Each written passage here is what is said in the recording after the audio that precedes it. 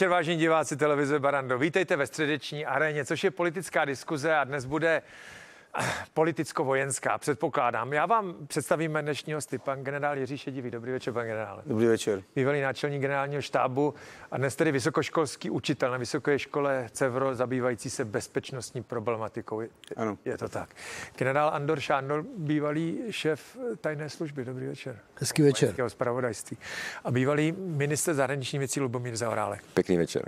Tak, pánové, eh, to, to téma je, je, je jasné eh, ukrajinsko-ruský konflikt. Předpokládám, že dojdeme i k dalším tématům, ale uh, pojďme k tomu prvnímu. Já jsem řekl konflikt, ale ona je to prostě válka. Pane generále, pokud vidíme ten vojenský průběh, já nejsem expert na vojenství, ale zdá se, že ta ruská armáda se tak nějak za- zastavila v těch, eh, jak na severu, tak eh, na jihu, dál nepostupuje. Včerejší vyjádření generála Šojgu, toho ministra obrany, bylo, že utlumí vojenské akce na severu a současně se soustředí na osvobození toho Donbasu. Dneska ty zprávy jsou takové, že žádné velké utlumení vidět není, že se bombardoval Černihiv. Nicméně vaše čtení té situace. To čtení už je nejméně 14 dní, že Rusko přecenilo své, své síly celá evidentně a musí přehodnotit eh, vůbec celou tu válku a operace na jednotlivých směrech. Pravděpodobně je zřejmé, že Kyjev už nedobydou a ani nezmění režim, který původně změnit chtěli. A soustředit se na ty směry, které jsou důležité, to znamená Luhansko, Doněcko, tam ovládnout ty prostory těch tradičních eh, hranic, ale myslím si, že na jihu budou pokračovat dál, to znamená ve směru na Oděsu. Eh, tento čas určitě využijou zároveň na přeskupení sil, nějaké přesuny, doplnění materiálu, munice. Je jasné, že každý konflikt jednou skončí. Každý konflikt jednou skončí. Jenom nevíme, kdy a za jakých podmínek. I tenhle konflikt jednou, jednou skončí. Uh, vidíte to vaším odhadem měsíce, více měsíců, uh, roky. Ty, ten konflikt vždycky skončí tím, že ty, ty znesvářené strany zasednou k jednacímu stolu. Buď z prostředníky, bez prostředníků, uh, ale váš odhad. Já si myslím, že to ještě pořád budou měsíce, není to tak rychle a Rusové se tak eh, rychle nevzdají té své ambice ovládnout nejméně tu levobřežní Ukrajinu. Hmm. A proč se stalo uh, z vašeho pohledu to, že takhle jako drasticky přecenili svoje síly? Na tom už se většina komentátorů uh, shodne, že skutečně ruská armáda předpokládala, že půjde o rychlou akci, jako bylo na Krymu, kde žádný zvláštní odpor jaksi nezaznamenali a pravděpodobnost, že by zaznamenali od, odpor na celém území Ukrajiny nepovažovali za příliš velikou a on se stal přesně jako opak. Tak to je potřeba se ptat tady mého kolegy, protože podle mého názoru tam výrazně podcenili zpravodajské informace a to zpravodajství ruské bylo hodně, eh, řekněme, formální, nedostatečné, anebo si tam lahali. Ale ta situace, která ukazuje, zejména v prvopočátku té jejich speciální operace, my říkáme válka, ukazovala na to, že Rusové nebyli připraveni na odpor jak obyvatelstva, tak ukrajinské armády v takovém rozsahu, jako se s ní nakonec střetli. Je to podle mého názoru skutečně velmi špatné plánování. Pane generále, eh, já jsem tu poslední otázku k generálu Šedivému jako tak už trochu přeskakoval k vám, abyste mohl navázat. Vy jste bývalý šéf vojenského zpravodajství. Na tom se většina komentátorů shoduje, že, že, že to jako vůbec nepochopili, jo? Že, že měli tak špatné informace. Uh, ale jak je to možné? To přeci není možné. Každý, kdo by přijel na, na Ukrajinu a, a sbíral nějaké uh, relevantní informace od obyvatel, nebo si snad zaplatil průzkum veřejného mínění normální agenturou a na Ukrajině operoval, operovalo mnoho, by dostal úplně jinou informaci, než celá evidentně dostal Vladimír Putin? Je to proto, že byl osamělý, že nikomu nedůvěřuje, nebo jsou opravdu takový amatéři? Proč? Já si osobně myslím, že Putin není žádný uh, slovan, který by miloval ty ostatní národy, ale věděl jednu věc dobře, že tím úderem, ať bude jakýkoliv, ať se bude jmenovat jakkoliv, si znepřátelí Ukrajince. A podle mě kalkuloval, že ten úder musí být velmi rychlý, velmi relativně slabý, pokud jde o ztráty, to znamená proniknout do středu Kijeva obsadit správní centrum, zajmout ukrajinskou vládu, nechat je něco podepsat a tím vlastně zlomit dát ten politický odpor. toho Janukoviče nebo něco podobného. Ale tak pokud drasticky selhali při těch spravodajských...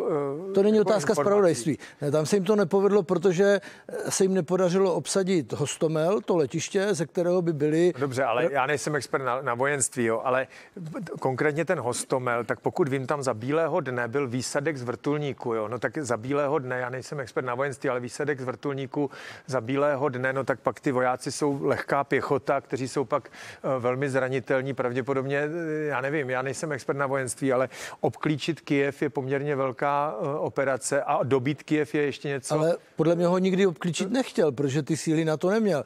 Tady by šlo o to, no. těch, v těch útocích na směrech, to znamená Kijev, Charkov a podobně, se dostat do centra velmi rychle, překvapit. Ukrajince a zlomit no. ten odpor tím, že obsadí ty politický a správní centra. Já, já a to nevíš. k tomu, že když posloucháme, já jsem si opravdu na YouTube pustil v originále ty projevy Vladimíra Putina. On tam stále se vracel k nějakým prapodivným historickým odkazům a teoriím, že ukrajinský národ ne, neexistuje a pravděpodobně si opravdu myslel, že uh, oni ho budou vítat, nebo jinak si to nedovedu mm, vysvětlit. Ukrajinci mu ukázali, že národ existuje, protože se mu uh, prostě vzepřeli, postavili a začali jako bojovat bojovat. No. Pane, pane mi, ministře, jednou minister pro, pro vždy ministr. No, e, možná by se to dalo pochopit, kdybychom se podívali více, já se na toho nebudu plést pánům generálům, no. ale e, přece ten projev, to jste říkal, že jste poslouchal, to je podle mě důležité, protože v tom projevu, e, který e, přednesl vlastně krátce předtím, než celá akce no. se spustila, zaznělo několik podle mě docela důležitých věcí. Jednak tam řekl, že se chce vrátit k té slávě Velké Rusy.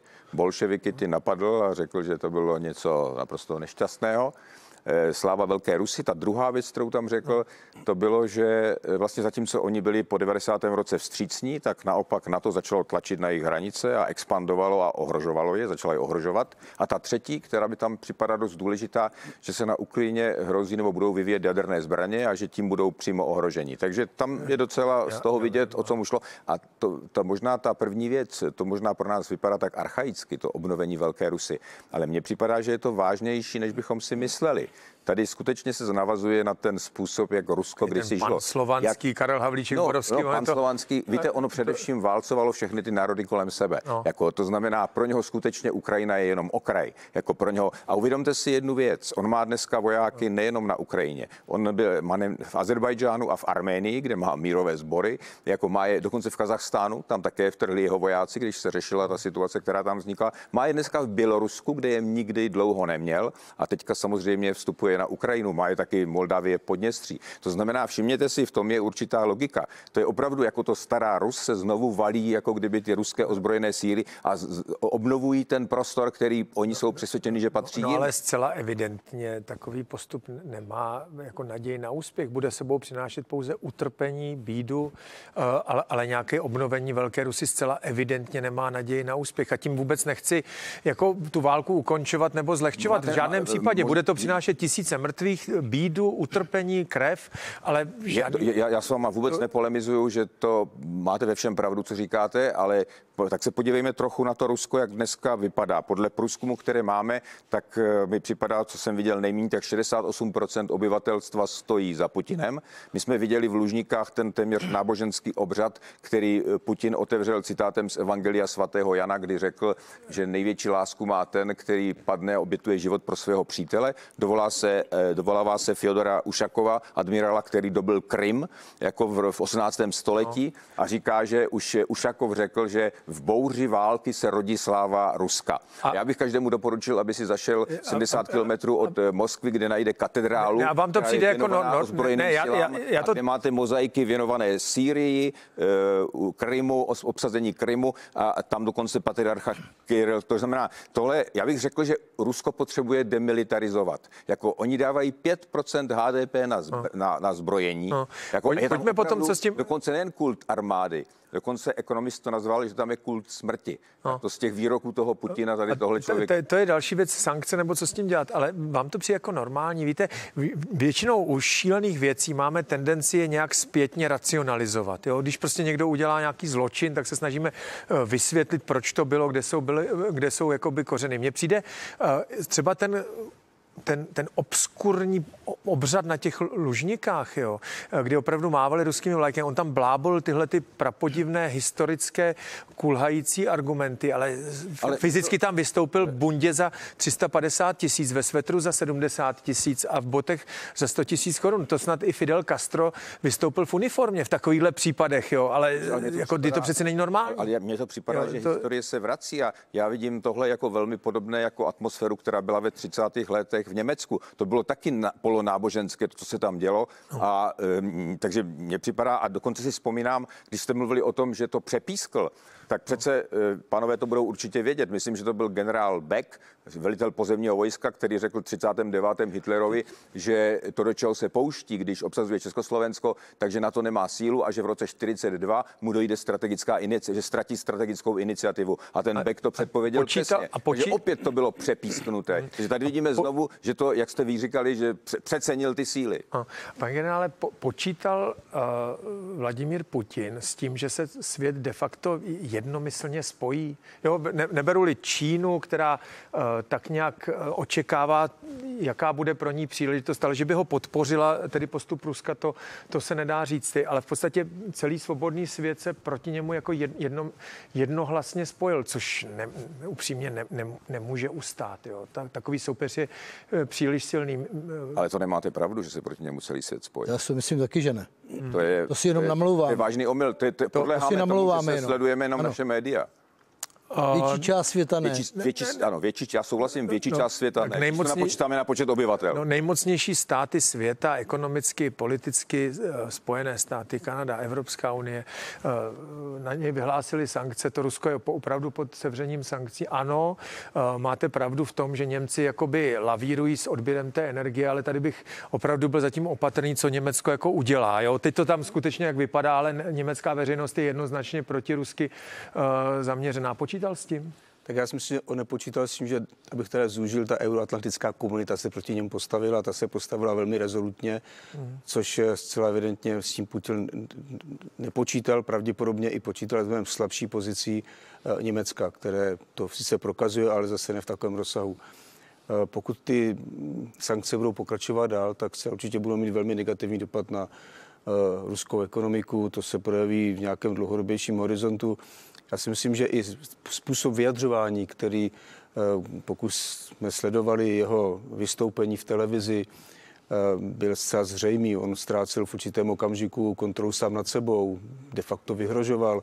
To by se státníkovi stát nemělo. Bylo vidět, že je v určité fázi skutečně mimo takovou tu eh, státnickou realitu a to si myslím, že je zcela zřejmé. Jednoduše ten značný odpor a poměrně silný odpor s tím on nepočítal. Samozřejmě, že určitě měli připravené varianty, že sankce budou, což, což několikrát řekl museli- i Lavrov. Vědět museli, že? To, Lavrov to také řekl, že to byli připraveni, ale ne v takovém rozsahu. Hmm. Pane generále, vy jste říkal, že jsem ten svět jako nespojil. No, to máte pravdu, jo?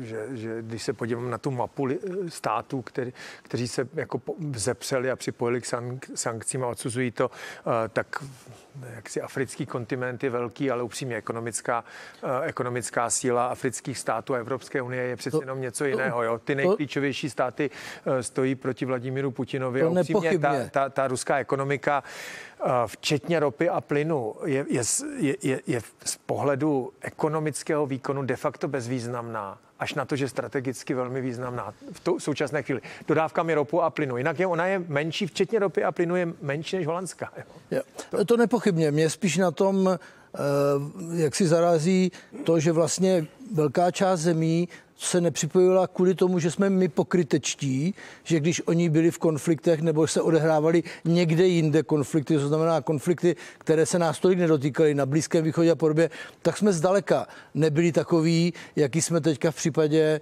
v případě Ukrajiny. Takže myslím si, že i to je poučení pro to, že ta, to pokrytectví toho západu je někdy příliš velké a že ty ostatní svět... Pokrytectví, to, jak to myslíte? Jako, že, no, že, že, že o konflikt když je tady na Ukrajině... Podobně nespravedlivý konflikt ano, tak, někde tak jinde, tak Evropská unie ne, ne, ne, nereaguje. A když je tady závorka nejde o lidi, ale no. plyn, tak, tak reaguje. Takhle to myslíte? No takhle to myslí oni hlavně taky, že? Jenom takhle to oni říkají. pana ministra Malikyho, kterou jsem teďka četl a který řekl, jak to, že jste teda nekřičeli, když tady je 13 let válka v Jemenu, chcete vědět, kolik tam bylo zabito dětí, kolik je tam mrtvým, jak že vám nevadilo zabíjení v Sýrii. Takže to je to, co myslí pan generál, že vlastně tady jsme mlčeli a zdaleka jsme neudělali dokonce Rada bezpečnosti zasedá. Jako, závorka, a jak jsem říkal, ta závěrka důvodem je, je plyn, nikoli lidská a, práva. A, a pakistánský minister na to reagoval slovy, když po něm chtěli, aby hlasoval pro to usnesení, nejsme snad vaši otroci, že jo? A bylo zatím přesně tady tohle. Proč jste nesvolali jako Radu bezpečnosti kvůli těm konfliktům, které tady byly v jiném? Tam vás to nebolelo, najednou máte pocit, že to víc týká a dáváte to nám. Takže ta debata, i když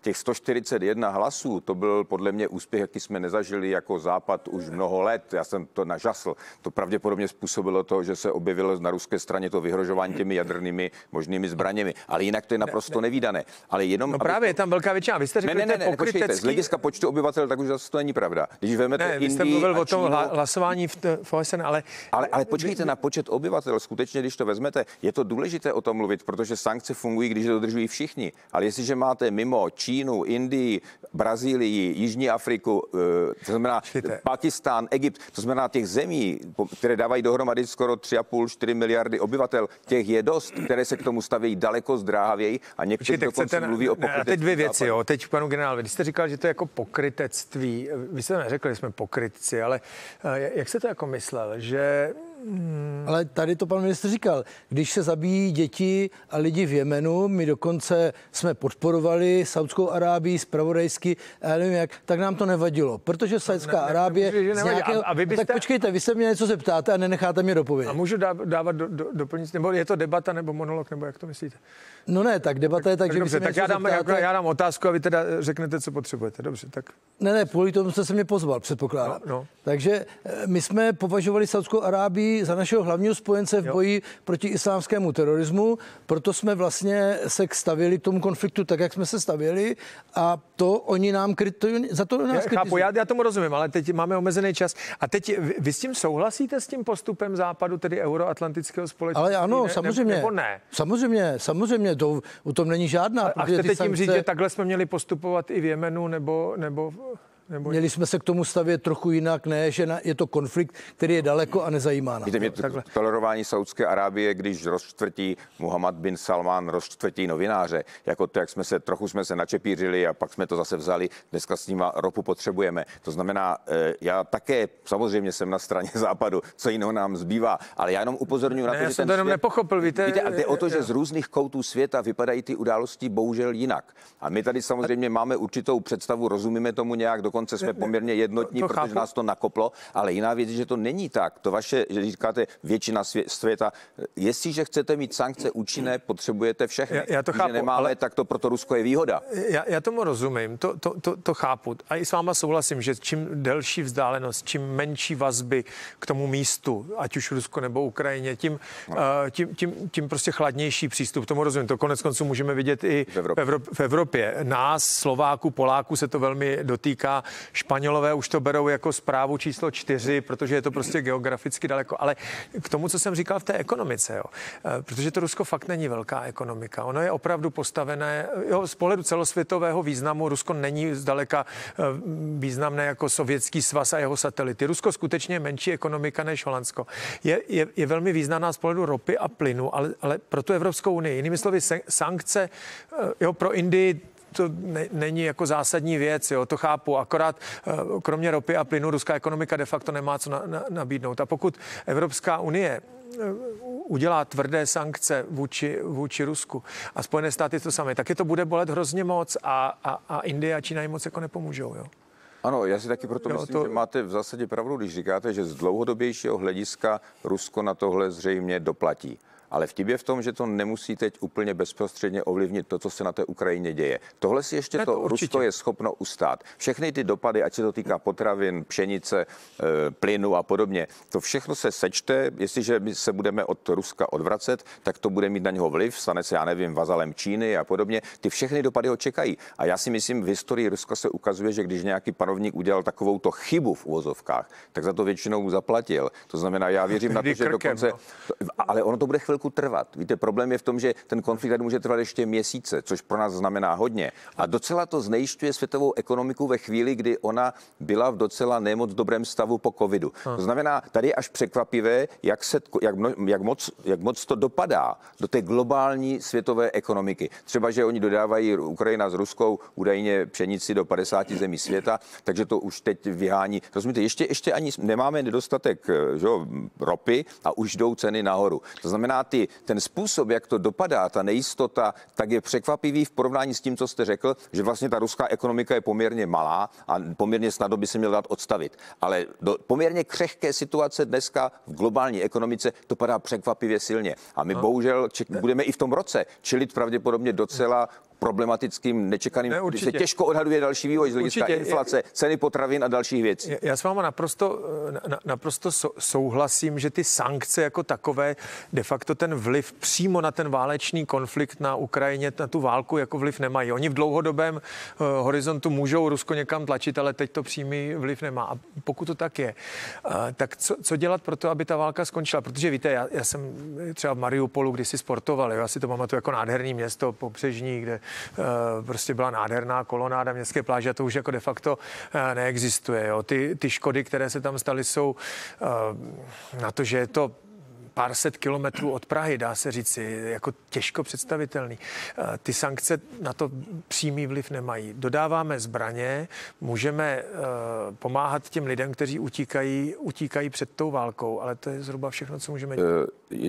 Eh, není lehké říct si přesně, co bychom teď měli dělat, abychom to vyřešili. Teď už jako vy- vypadá, že nám zbývá jenom to, co děláme. Dodáváme zbraně a myslím si, že jsme se zmohli na poměrně jednotný postoj k sankcím a podobně.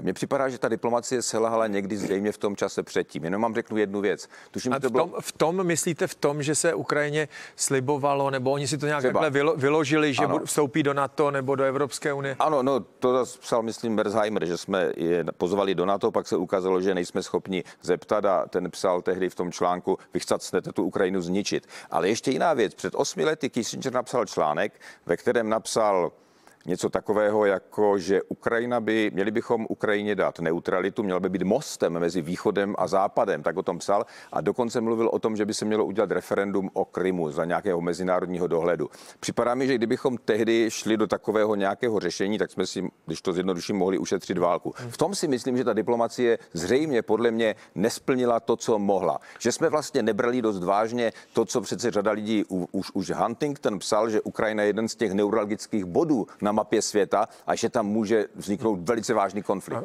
Pane generále, role, role NATO. Jo. Já, já z vlastní zkušenosti vím, zase z Běloruska z vlastní zkušenosti vím, že eh, NATO a při případná členství Ukrajiny eh, v NATO byl i pro běžné Bělorusy jako těžko uchopitelný nebo těžko pochopitelný problém. Oni mají v hlavě prostě odkaz druhé světové války, studené války, NATO je jako nepřítel. Vstup Ukrajiny eh, do NATO už tehdy pro běžní Bělorusy byl těžko představitelný. Pokud jsem s nima začal debatovat, tedy s kolegy tam, tak to docela pochopili, byli to vzdělanější lidi, ale, ale eh, byl ten zásadní problém eh, to, že Ukrajina se dala skutečně do ústavy, eh, že chce vstoupit do NATO. Je, to ta rozbuška, kte- která se neměla stát, tak jak naznačuje Lubomír Zaorálek? Bude to část toho problému. Já myslím, že je potřeba se vrátit zpátky k tomu, kdy Putin nám už jasně deklaroval v roce 2008, co udělá se státem, který bude mít vážný zájem vstoupit do Severanské aliance, a to byla Gruzie, která jako první a tehdy prezident Šákašvili se dopustil určité chyby, kdy se nechal vyprovokovat a Gruzie nakonec přišla o podstatnou část svého území. A to jsme špatně zanalizovali, špatně jsme zanalizovali celý ten proces, který následoval a přišel rok 2013-14 a my jsme byli zase překvapeni. Pan minister tady říká, že jsme byli překvapeni, my jsme překvapeni regulérně. Každý, po každém nějakém události A jsme je to proto, že překvapeni. jsme hloupí, nebo tomu nechceme prostě věřit. Netýkalo se nás to, ne, chtěli jsme mít ten mírový stav, který jsme tady měli desítky let, relativně relativní blahobyt, kdy každý rok byl trochu lepší ekonomicky i z pohledu životní úrovně obyvatelstva lepší než ten předchozí a vlastně jsme to nechtěli vidět. No, protože ne, nehodnotíme věci reálně. Díváme se na ně skutečně přes tu optiku toho politického nebo ideologického zadání a to je obrovská chyba, protože v ten debata, která se týkala vstupu Ukrajiny do Severoatlantské aliance anebo do Evropské unie už před tím rokem 2014, tak eh, ta byla vlastně chybná a byla milná. A bohužel my jsme slibovali to, co jsme věděli, že nesplníme. A i předtím, než Rusko zaútočilo v minulém roce i v tomto roce, já musím říct, že třeba jsem nesouhlasil s generálním tajemníkem NATO Stoltenbergem, který vždycky říkal, Ukrajina je suverénní stát a má právo vstoupit do Severoatlantské aliance. Ale neřekl to B, co že za, těchto podmínek, za těchto podmínek to není reálné. A Ukrajinci si to přeložili do té podoby, že, že mají právo a tudíž eh, je téměř nárok a Rusové si to přeložili tak, že do Severské aliance vstoupí. A to byla podle mě možná taky obrovská chyba. Že, že, ti Gruzinci si to možná taky vyložili špatně. Dobrocentně. Jako, no, ano, taky, já, mysleli, půjdeme do toho, však oni nás to nenechají. A taky se zmýlili. To je jo. po druhé stejná chyba. Uh, uh, tak ono to spíš vypadá jako zá, záminka, jo, protože na to eh, žádné kroky k přijetí Ukrajiny jako neudělalo ani Evropská unie. Bylo to tedy v pozici té deklarace.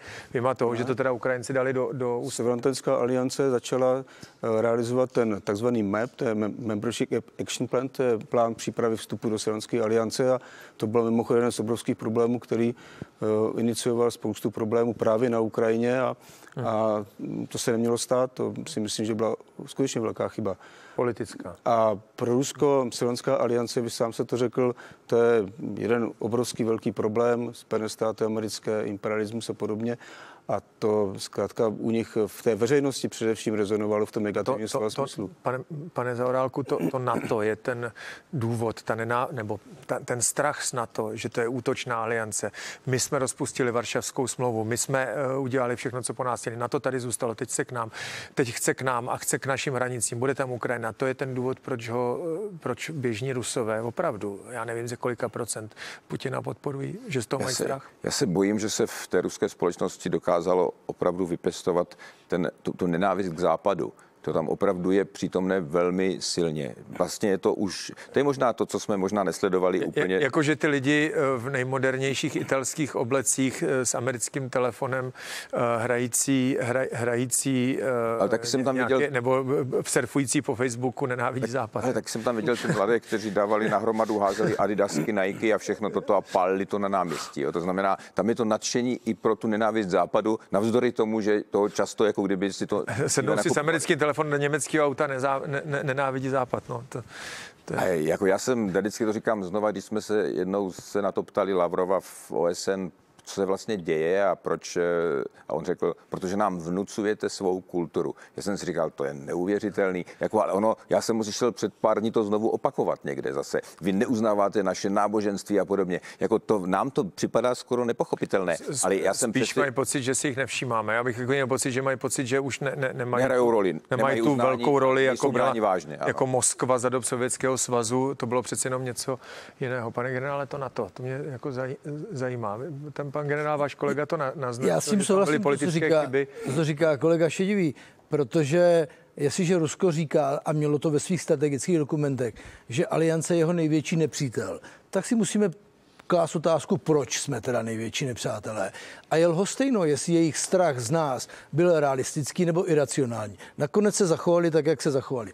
Faktem je, že některé věci v těch 90. letech a na začátku tohoto tisíciletí Irák, Libie, Eh, Srbsko, všechno bez rezolucí Rady bezpečnosti OSN, tak když potom, když to řeknu eufemisticky, otevřete si v okno v Kremlu a koukáte se, jak se to na to přibližuje, jak se na členských zemích v nových rozmistují zbraně, tak ty Rusové si kladou otázku, já je prosím nehájím, já jenom říkám, tak se ptají, proti komu ty zbraně se teda tady rozmistují, proti komu se ta aliance posunuje k našim hranicím, když nám bylo slíbeno, že se tak nestane ani pokud jde o Já vám do, do určitý míry jako uh, rozumím, jo. akorát uh, ta, ta cena, kterou za tenhle iracionální, no ne, je strašná. iracionální str- strach teda z nějakého NATO, nebo že, že na nás NATO zaútočí, protože je to útočná aliance. Tak to skutečně je pořád v míní mnoha jako Rusů nebo ex-Sovětů. Nevím, jestli tedy té mladé generace, ale ta cena, kterou za to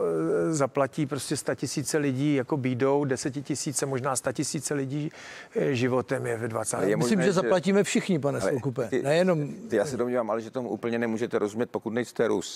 Protože Rusko vlastně ta staletí zná tady tenhle strach, ten pocit ohrožení. To tam existovalo i v minulých staletích. Hmm. Jako ono se píše, že právě jak oni žili v té stepy, tak se jim jednou stalo, že se přihnali Mongolové a vlastně je na 250 let si je podmanili. No. A oni tady v tomhle prostoru, kde se člověk kdyby nemá čeho chytit, za co se schovat, tak si vyvinuli to, že začali postupně obsazovat všechny ty země kolem sebe. Ten soused je bezpečný jenom, když ho obsadím. A tenhle instinkt, to, to je něco, co prostě do té ruské historie to je, patří. To je, to je jako On si tady jenom proto zapomínají na to, co vlastně dělali staletí. To, to je jako proto, že, Strach, že ruská je. hranice se jako nedá uhlídat. Jo? Nedá se ani přesně ne, no, protože eh, je tak dlouhá, že byste na to potřeboval miliony vojáků, aby mohli mít uh, pohraniční stráž. Dokonce myslím, že jste mi to říkal vy, pane generále, že Česká, Československo za dob uh, první republiky mělo tak dlouhou hranici, že se jako nedalo vojensky ubránit, že to byl vojenský jako nesmysl, že to bylo tak dlouhá hranice na náš počet obyvatel, že to nešlo. Dlouhá někdy. ne, ne, ne, já jsem to někde četl, omlouvám se, si mám kládám do úst něco, co jste, co jste neřekl. A ten obrovský prostor, jako to je země, to je největší že jo, země, země na světě, ten vlastně jako kdyby bylo těžké hájit a vyvolává ten pocit ohrožení a nejistoty. Hmm. Takže je to těžko k pochopení a asi se to tím nedá především omlouvat, hmm. ale jde o to, že tady je něco, čemu my nerozumíme. Někdo, kdo neustále vlastně, vyrá... je to země, která možná jedna z nejčastěji vyrážela na expanzi a obsazovala. Dokonce ten pojem sabiráč zemlí se stal slavný. Jako sbírání zemí dělala to Kateřina Veliká, dělali to Alexandr I. To říkal to celá řada Zdeněk Svěrák eh, ve filmu, ve filmu Kolia. Kradete kufry a cizí území. Jo.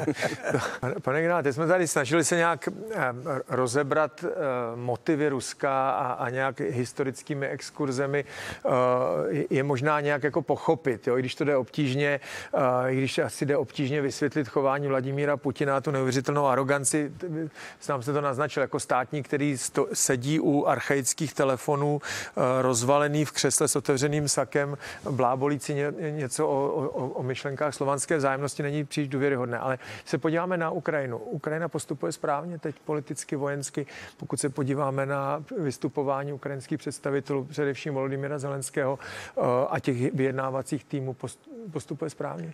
Tak Ukrajina je limitována tím, co vlastně mm, vůči ní dělá Rusko. To je zcela evidentní. Oni moc variant nemají, akorát si myslím, že i vyjadřování pana prezidenta Zelenského by mělo být více promyšlené a nemělo by být tak útočné, protože zatím máme veškeré informace, které máme z jejich strany o Rusech, ale o jejich úspěších a nebo neúspěších moc to nevíme a o jejich armádě také to moc nevíme. Eh, neustále obvinování všech členů Silvanské aliance, že nedáváme letadla, nedáváme tanky, nezajišťujeme bezletový prostor. Eh, to je něco, co je úplně mimo realitu, protože dostávají tolik protiletadlových raketových kompletů, ať už těch lehčí nebo těch těžší, že to při správném použití ten bezletový prostor si dávno mohli vynutit a oni se také z velké části vynutili. Já si myslím, že tady tohle to je něco, co musíme vzít v úvahu a mělo by být i ze strany Silvanské aliance a jednotlivých členů, hlavně těch velkých, eh, také určité penzum reality zase na tom říct i panu Zelenskému a představitelům Ukrajiny, že je nezbytně nutné, aby uvažovali také o tom, jak dál reálně postupovat, protože není možné bojovat, eh, obětovat eh, desetitisíce vojáků, byť nemáme přesně informace, kolik zemřelo uh, ukrajinských vojáků, ale ta americký odhad je, je také kolem deseti tisíc. Ale uh, po nějaké době toho válčení říct, no my bychom akceptovali neutralitu, tak to je jako něco, co už mohli říct ale před půl rokem. Hmm. A nemuselo se Já jsem rád, že to mluvíte. Jo? Ono, ono teď, je, teď je Volodymyr Zelenský a ukrajinský postup, uh, byť lidsky... Uh, lidsky pochopitelný. Je ale... zcela pochopitelný, jako nekritizovatelný. Já jsem trochu uh, jako píchl do vosího nízda, když jsem se otevřeně zeptal, jestli tam je něco ke kritizování. Protože je pravda, že uh, ty vyjádřování Volodymyra Zelenského, pokud se na to zase koukám v originále a říznám se, že ukrajinsky uh, jako z té francouzštiny něco pochytám, ale už to nejsem schopen používat pří, nebo poslouchat přímo v originále, je, je, je poměrně jako útočný. Jo? Je, je, je poměrně útočný, je, je to tlak, je to asi promyšlený tlak z jeho strany vůči těm partnerům, vůči těm parlamentům. Chybí tam ale trochu pokory, aspoň tak to na mě působí. Jo? Je, on nám říká, co jsme povinni, co jsme měli udělat, co jsme neudělali, ale pan prezident Zelenský neřekl, co neudělali oni jako Ukrajinci, co neudělala Ukrajina a ty jednotlivé politické reprezentace od roku 1991 a proč jejich armáda byla v tak špatném stavu, jako byla. Byť od toho roku 2014 udělali poměrně velký krok vpřed, to je bez sporu pravda.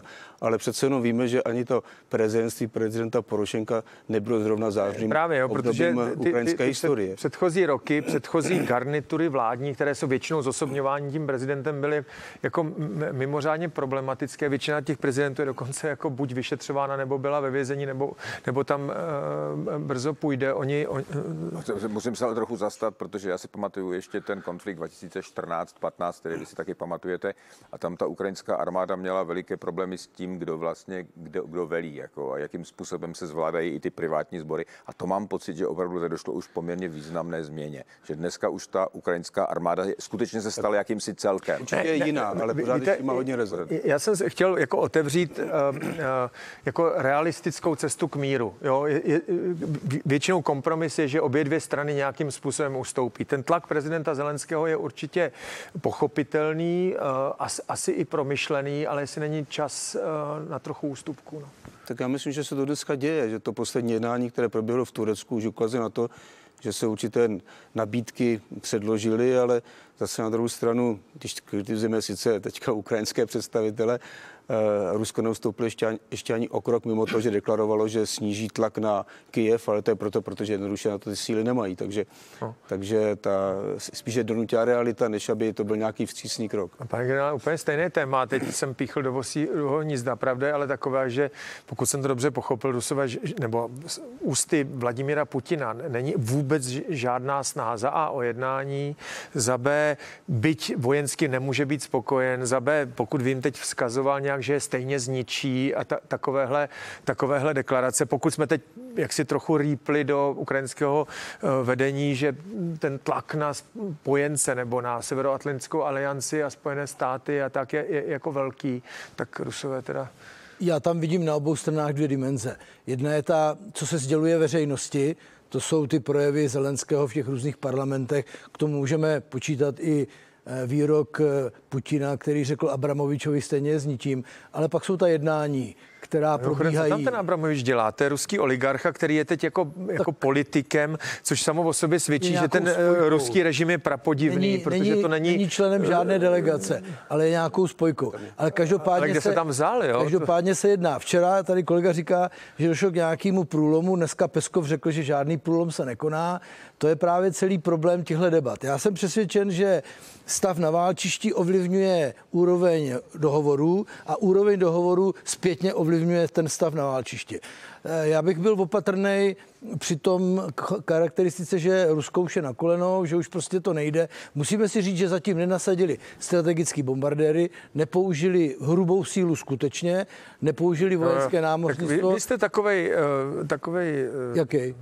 No, ne, nechci říct obdivovatel ruský. A proč, proč si myslíte, postupu, že jsem jo, ale... tak se tady se bavíme přece o tom, jak to je a ne, že si tady říkáme přání otce myšlenky. Já jenom říkám, že nenasadili ještě brutální sílu. To je fakt, všecko. Jo. Já vůbec... Ne, ne, fakt jo. Jak, jak se, by se to projevilo, to brutální? Teď jsem vám to říkal, vy mě neposloucháte. Strategické letectvo, nebylo strategický bombardéry, i počty těch, těch střel hypersonických a podobně. Já nejsem žádný obdivovatel. Já, jenom já vám prostě... do toho nechci mluvit, akorát když jsem viděl ty obrázky Mariupolu, tak přesně nevím, co je hrubá síla.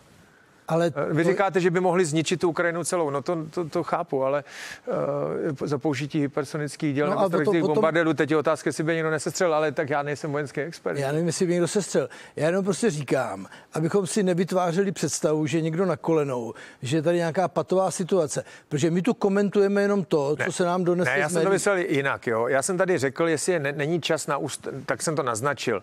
Jestli není čas na ústupky z ukrajinské strany, ale současně říkám, že Rusové zatím ne, nejeví vůbec žádnou uh, zájem o tu dohodu. A já, já od začátku říkám tady té debaty, že uh, každý konflikt jednou skončí a většinou nějakým kompromisem. Akorát uh, máte pravdu, že teď vidíme akorát to, co vidíme v médiích a nevíme, co je v pozadí. ale to, to... ustoupili z denacifikace, ustoupili se svržení vlády feťáků, ustoupili z demilitarizace, podle, jestli ty informace jsou pravdivé, tak připouští členství Ukrajiny v Evropské ne, unii. Ale denacifikace, já jsem moc začal neviděl, co to je. To bylo svržení no já jenom říkám to, to, co říkali oni no. a teď už se to neopakuje, ten, ten narrativ. No. Jenom tohle to říkám. Nic víc, vy říkáte, že ničeho neupustili. Já říkám, že tohle to je posun z jejich strany. Podle mě i on se chce dohodnout. Pro něj taky nemůže být Putin no. nemůže být pane, cílem pane, ten konflikt pane, pane Já si dovedu představit dvě možné cesty, jak se z toho dostat, ale také si myslím, to, co tady naznačí paní generálové, že vůbec to není tak, že bych teď viděl, že se k tomu otevírá cesta, protože to je velmi nejisté, co se odehrává, jestli jednání jsou skutečná jednání, jestli je myslí vážně ruská strana, to je pro mě veliký otazník. Ale dovedu si nějak představit, že by se Rusové mohli blížit k něčemu, co bych nazval nemožná mírem, ale příměřím, tak jak jsem to viděl v Koreji na, na tom linie příměří vytvořená mezi mezi severem a jižní Koreou a připadá mi, že tohle by mohlo být něco, co by mohlo odpovídat ruské představě, že by si ukrojili jako kdyby kousek a tam jde o to, co teďka ještě vybojují, co se na tom bojišti odehraje. A druhá varianta jsem trochu pochopil z toho, co říkal pan prezident Zelenský z toho rozhovoru, který dával i české televizi. On tam mluvil o referendu a to mi připadalo, že je to něco podobného, jako je irská varianta. To bylo v roce 1921. Irové nechali udělat referendum o severním Irsku. Jako takhle by se podobně si zřejmě představuje. Já, já jsem neviděl, jestli teda o, o trže, tam šlo Donbass. o to otržení Donbasu, jestli by to bylo referendum jenom na území toho Donbasu nebo na, na, cel, na celý Ukrajině, to nevím. To, to všechno je otázka té dohody, jestli by Rusové Pokud byste měl krátce zhodnotit Takže, ale postup ten, těch ukrajinských ten, představitelů, ten, ten, to, co jsme tady naznačili. Ten zásadní rozdíl, to se mi hodnotí stejně špatně, protože já jsem z toho vystoupení pana Zelenského nezískal představu nějaké úplně promyšlené strategie. Jediné, co jsem pochopil, je, že by to byla taková možná irská varianta, že by se hlasovalo na Ukrajině o možnosti že by třeba Donbas eh, nebo nějaká jeho stanovená část byla, by, by se, že by se jí vzdalo. Jako to je něco, co mi připadalo. On říkal Zelensky, musí to rozhodnout lid, to není něco, by mohl rozhodnout já. A takové to hlasování je strašně, to by bylo totiž opravdu mírová dohoda, to je to Irsko. Zatímco ta varianta korejská, to je jenom příměří.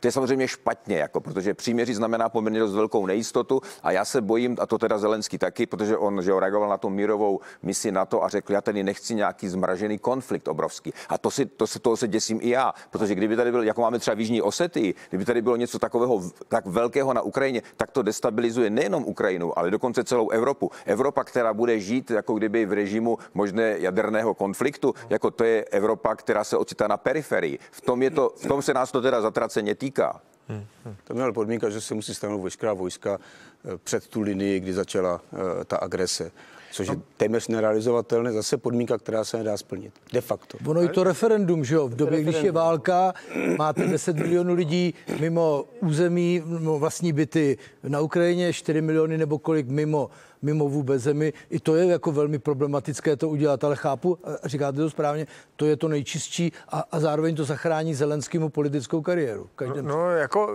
já vím, ale ne, trochu jako zapomínáme, že e, samozřejmě ukrajinští představitel, včetně prezidenta, tlačí, protože potřebují pomoci, sami to nezvládnou. Je to, je to, je to e, naprosto zřetelné ani politicky, ani ekonomicky, ani, ani vojensky. Na druhou stranu trochu jako při téhle debatě jsme zapomněli, že jako Rus, Rusové to spustili. Jo? Rusko zaútočilo. Uh, aniž tam byla jaká jako rozbuška nebo roznětka, která by alespoň vzdáleně byla jako racionální. Jo to denacifikace, demilitarizace a takovéhle řeči. A pak přišli s tím, že eh, tam jsou nějaký biologické laboratoře financované Američany, či případně teoretická možnost nějakých Oni... vývoje jaderných zbraní, no ale to... Jako... Mimochodem Šojgu už řekl, že de facto se zničila velká část ukrajinské armády, čím se plní ten úkol demilitarizace. Řekl to asi dva dny zpátky, takže to, oni si vytváří Rusové zase v současné době jakési podmínky pro to, aby k tomu příměří mohlo jako se přistoupit. Eh, ta situace Ruska, byť tady zase kolega říká trochu něco jiného, já si myslím, že není úplně tak jednoduchá a není tak zřetelná, že by mohli Rusové provést, byť já si myslím, že ještě se po to pokusí znova tu ofenzivu ob, obnovit. Ale jestliže přitahují už vojska z Dálného východu, ze středních oblastí Ruska, tak je vidět, že tu západní a jižní vojenský okruh téměř vyčerpali. Takže uvidíme, co se vlastně odehraje v těch příštích dnech. Pokud se jim podaří přeskupit svá vojska, pokud se podaří doplnit jak lidmi, tak materiálem, municí a vším tím potřebným eh, to, co mají dneska na jednotlivých operačních směrech. A musím pozornit, že eh, námořnictvo už použili a použili ho pochopitelně v Černém moři, ale zatím bylo docela neúspěšné. No, takže hmm. ono, oni mají taky už dneska určité limity a uvidíme, se podaří vytvořit ten balans mezi těmi útočícími vojsky Ruska a těmi bránícími se vojsky Ukrajiny. V takovém případě bude okamžik, kdy se začne skutečně vážně vyjednávat. No, jestli to dobře chápu, ale jako ani jedna ze stran zdá se, pokud nedojde k nějakému použití zbraní hromadného ničení, teď nemá sílu, aby ten konflikt jaksi, nebo tu válku zvrátila ve svůj prospěch. To, to, to, to, to, to, to, co se může stát, tím skutečným momentem, kdy se začne jednat. Pokud budou stát proti sobě ani nebude mít takovou sílu, aby převálcoval v uvozovkách řečního toho druhého. A v takovém případě se začne vyjednávat, protože oba obě strany ví, že, že musí najít nějaký kompromis. A pak jde taky o hodně, když to přijde i do té politiky, což si všichni přejeme, protože vlastně ten, eh, ten Putin hraje o všechno. Jako jestli on nedokáže předložit veřejnosti příběh, že byl úspěšný, tak víme v ruských dějinách, že panovníci, kteří tak se to potom zaplatí. Takže to on, myslím, cítí také. Pokud nedokáže tohle prezentovat jako akce, která měla smysl, ve které něčeho dosáhl, tak pak si myslím, se s ním bude moci zúčtovat. To bude možná chvilku trvat, to nebude třeba hned, ale myslím si, že je to velice pravděpodobné. Tak on ví, že hraje o všechno. Ale myslím si, že ani Zelenského situace v tomhle není jednoduchá.